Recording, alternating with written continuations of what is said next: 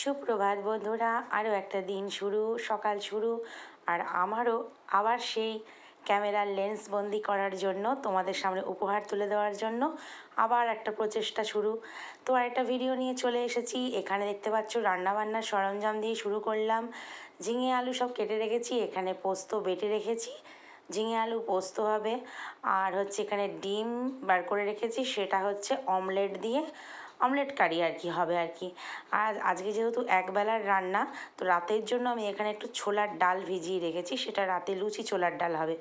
ওই জন্য একবেলায় ডাল, ঝিঙে আলু পোস্ত আর হচ্ছে অমলেট কারি হবে। তো সকালবেলার ব্রেকফাস্ট এক একজন এক এক রকম খেয়েছে, সেটা মিটে গেছে। আর রান্না হচ্ছে এইখানে ডিম কষা করছি আর কি মানে অমলেট করে আর কি আলু দিয়ে। আর আমার কথা বলতে দেখতে পাচ্ছ, খুব প্রবলেম হচ্ছে। আর এখানে দেখো ঝিঙে আলু পোস্তটা হয়ে গেছে আর কি। রেডি হয়ে গেছে, নামিয়ে দেবো, দিয়ে ডালটা বসিয়ে দেবো। আর হচ্ছে ডালটা প্রেশার কুকারেই বসাবো। কথা বলতে ভীষণ প্রবলেম হচ্ছে, বুঝতেই পারছ? কারণ হচ্ছে ঠান্ডা জল খেয়েছি। এই যখন ভয়েস ওভার করছি, এখন রাত সাড়ে বারোটা বাজে। কিন্তু আমি এই নটা নাগাদ একটুখানি ঠান্ডা জল খেয়েছি, কারণ এমনি প্লেন জলে না তেষ্টা মিটছিল না। তো এটা কদিন আগেকার ভিডিও তো তার দুদিন পরে ভয়েস ওভার করতে গিয়ে একটুখানি ঠান্ডা জল খেতেই আমার হচ্ছে একদম গলার অবস্থা খুব খারাপ হয়ে গেছে, কষ্ট করে ভয়েস ওভার করতে হচ্ছে। তো যাই হোক, তোমরা একটু কষ্ট করে শুনে নিও। দেখো, এদিকে ডাল বসিয়েও দিলাম। এখন অনেকটা সময়ের পরে, প্রায় ঘন্টাখানেক পরে, রান্নাবান্নার পরে তো অনেক আমাদের কাজ থাকে, সেগুলো সেরেছি। জাস্ট ভেবেছি স্নান করতে যাব, কিন্তু তোমাদের দাদা দেখো মাছ দিয়ে গেল, দিয়ে ও চলে গেল, আর এখানে টমেটো ধনে পাতা সবজি যেহেতু সব আছে, আমি আনতে না করেছি, এখানে একটু কচু, শসা, পেঁপে, লঙ্কা, এই সমস্ত টাইপের জিনিস এনেছে আর কি, সবজি সেভাবে আনেনি। কিন্তু এখানে ওই দু রকমের দুটো পোটলায় মাছ দেখতে পাচ্ছি। আর আমাদের বাড়িতে তো তোমরা জানো, ওই রুই কাতলা চারা বাটা মানে পুকুরের মাছ ছাড়া খায় না। কিন্তু আমি বলেছি কি যে, আমরা বাবার বাড়িতে তো সবই খায়, মাও রয়েছে। আমি বললাম যে, কিছু সামুদ্রিক মাছ বা অন্য ধরনের কিছু মাছ যদি পাও, তাহলে এনো আর কি। যখন বলছিল মাছের বাজারে যাবে, আর কি রক্ত দেখো। আমি এখন স্নানে যাব, আর তাই হোক, স্নানের আগেই দিয়ে গেছে। পুজোটা বাকি আছে। আর এই দেখো, এখানে দিয়েছে হচ্ছে পাঙাশ মাছ। যেহেতু বলেছি অন্য ধরনের মাছ আনতে, তো পাঙাশ মাছ এখানে আছে আড়াই কেজি। তো পাঙাশ মাছ আড়াই কেজি নিয়ে চলে এসছে। একটা মাছেরই ওজন আড়াই কেজি। আর এখানে হচ্ছে নিয়ে এসছে মৃগেল মাছ।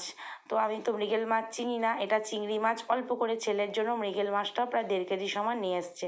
তো এই মাছগুলোর গায়ের কোনো আঁশ ছাড়ানো নেই, কিছু নেই। এই মাছগুলো না আঁশের ব্যাপার নেই, পাঙাশ ট্যাংরাগুলো। কিন্তু ওই মাছের আঁশ টাশ ছাড়ানো আমার বিরক্ত লাগছে। তো মা বলল, ঠিক আছে, বিরক্ত লেগে লাভ নেই। আমি সব ধুয়ে মুছে পরিষ্কার করে দিচ্ছি, তুই স্নানে যা। এখানে কিন্তু মা ধুয়ে দিচ্ছে সব। একদম সে আশে ফাঁসে একদম ভরে গেছে, আবার মাছের তেলও একটু আছে। মা, এই মাছগুলোকে ধুয়ে ধুয়ে কৌটো করে দিচ্ছে আর আমি ফ্রিজে রাখছি। মা যতই বলুক স্নানে যা। এইসব গুছিয়ে না যেতে পারলে আমি কি আর স্নানে যেতে পারি বলো? তো যাই হোক, মা তবু ধুয়ে টুয়ে দিচ্ছে আর আমি ফ্রিজে তুলছি। যেহেতু রান্না হয়ে গেছে, একবেলার জন্য ডিম করে নিয়েছি। আর আমি আর মাছের কিছুই আর ব্যাপার করলাম না, রান্নাঘরও পরিষ্কার হয়ে গিয়েছিল। যাই হোক, পরিষ্কার হলেও আমাকে। মা ধুয়ে দিচ্ছে, ওই পর্যন্ত। মাকে তাও বলছি যে, তুমি যাও, শুয়ে থাকো গিয়ে। তো একটা করে মা ধুয়ে দিচ্ছে আর আমি ভরছি টিফিন বক্সে। যাই হোক, সব পরিষ্কার করে এবার স্নানে যাব আর কি। গুড ইভিনিং বন্ধুরা। সন্ধেবেলা মানে সকাল থেকে ভিডিও শুরু করেছি আর তোমাদের সামনে আসতে পারিনি। আমি যে আসিনি সেটাই আমি ভুলে গেছি। এখন ভিডিও করতে গিয়ে মনে হলো আমি তো সকালবেলা সামনে থেকে গুড মর্নিং বা কিছু বলিনি, এখন মনে হলো। তো এখন হচ্ছে সন্ধ্যেবেলা ঠাকুর ঘরে ঢুকেছি, সন্ধে দেবো বলে। তো প্রথম কথা বলছি এই ভিডিওতে আর কি। আর এ হচ্ছে ছাদে যাবে, বল নিয়ে একদম রেডি সন্ধে হয়ে গেছে। আমি বললাম, ঠিক আছে তুই যদি দুপুরবেলা ঘুমোস, তাহলে হচ্ছে ঠাকুর ঘরে বল নিয়ে এভাবে? তো ওকে বলা হয়েছিল ওকে বলা হয়েছিল দুপুরবেলায় যদি তুই ঘুমোস, তাহলে বিকেলবেলা ছাদে নিয়ে যাব। ও মা দেখি দিব্যি দু ঘণ্টা ঘুম দিয়ে উঠল। তো আমি আর ঘুমোইনি, আমার সেই চোখ বুঝে আসছে সকাল সকাল, যেহেতু ওঠা আমি ভিডিওর কিছু কাজ করলাম কিছু বন্ধুদের ভিডিও দেখলাম তো এইসবই করলাম দুপুরবেলা তো এখন সন্ধ্যা দিতে এসেছি। এখন হচ্ছে বায়না আমি যেহেতু দুপুরবেলা ঘুমিয়েছি তুমি এখন আমাকে ছাদে নিয়ে চলো। কিন্তু ঘোর অন্ধকার হয়ে গেছে।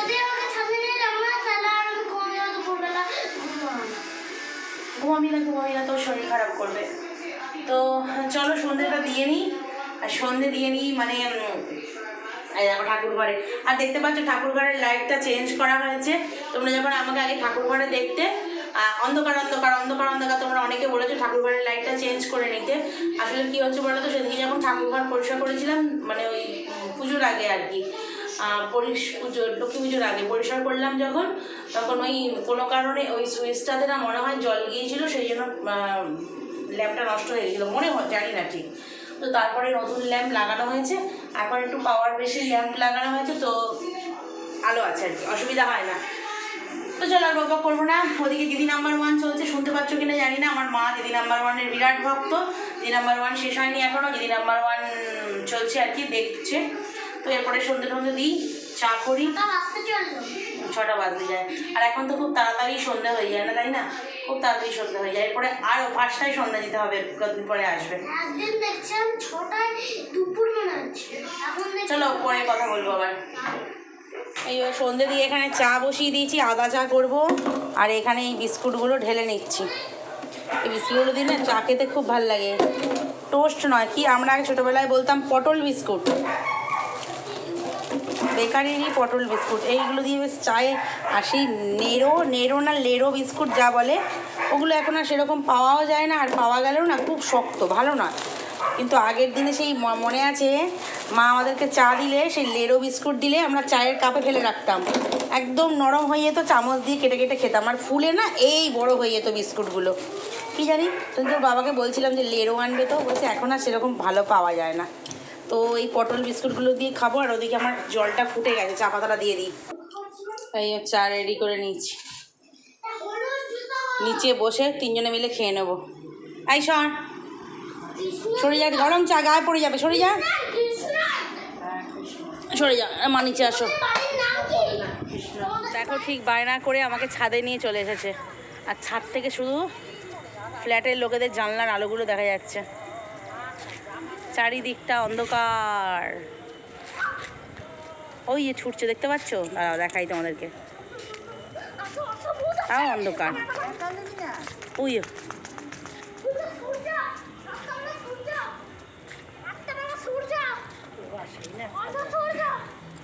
রাত্রেবেলা কোথায় সূর্য? ওটা আকাশের চা তারা, চাঁদ।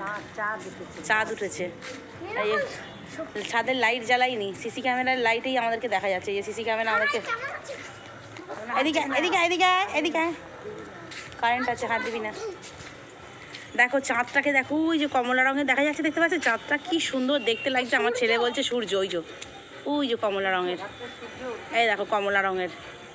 চাঁদটা সবে পূর্ণি কি সুন্দর লাগছে সূর্যের মতনই লাগছে কিন্তু আমি পুরো ফোর এক্সে জুম করে তোমাদেরকে দেখাচ্ছি। দেখলে মনে হচ্ছে সূর্য কিন্তু চাঁদটা পুরো সুন্দর। কমলা রঙের চাঁদ।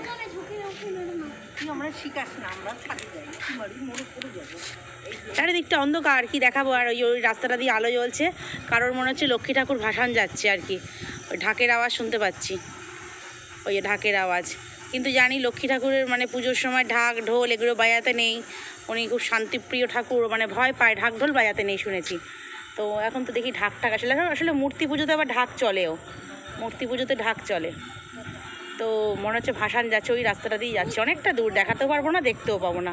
চারিদিকটা শুধু এরকম নিকশ অন্ধকার আর শুধু লাইটগুলো জ্বলছে। চলো এখন কিছুক্ষণ ছাদে থাকি, পরে নিচে নেমে যাব। রাতের বেলা একদম নিকশ অন্ধকারে একটা সুন্দর দৃশ্য দেখতে পাচ্ছি। দেখতে পাচ্ছ কমলা রঙের চাঁদ? তো তারপরে তো কিছুক্ষণ থেকে আবার নিচে চলে এসেছি। নিচে রাতের খাবার করতে হবে। আর লুচি করে নিচ্ছি, দেখতেই পাচ্ছ। আর এদিকে হয়ে গেছে ছোলার ডাল প্লেন ছোলার ডাল। নিরামিষভাবে এরকম হয় আর কি।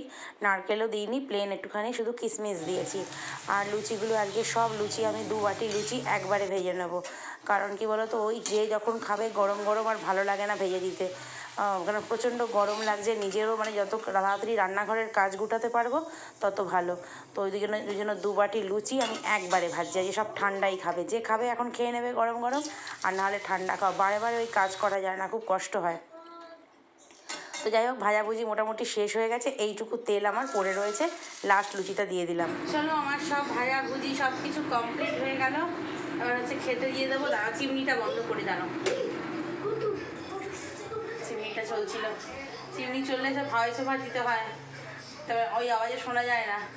যাই হোক, এখন খেতে দিয়ে দেবো, সব গরম গরম খেয়ে নেবে। আর ভিডিওটা এইখানেই শেষ করব। নেক্সট ব্লগে দেখা হবে। ভালো থেকো, সুস্থ থেকো, সাবধানে থেকো। আর চ্যানেলটা সাবস্ক্রাইব করে আমার পাশে থেকো। আর কিছু বলার নেই, প্রচণ্ড গরম লাগছে। এরপর একটু ফ্রেশ হব। তো চলো, আজকের মতো, টাটা। শুভরাত্রি।